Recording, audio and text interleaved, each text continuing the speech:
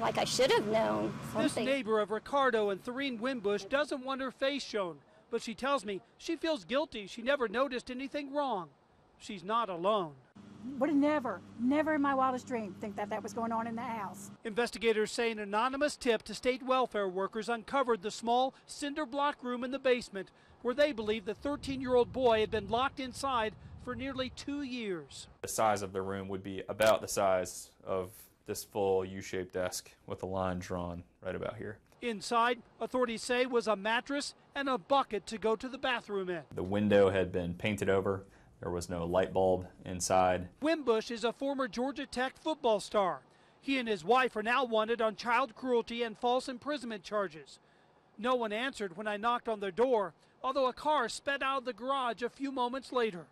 Court records show the parents claimed the teen had molested three of their other nine children, and that's why they locked him in. Although police say they have no other evidence to support the claim, and the boy reportedly denies it. What was his condition? Uh, he seemed to actually be in pretty good health. What could he have possibly have done? And if he did something really, really bad, why didn't you get him help?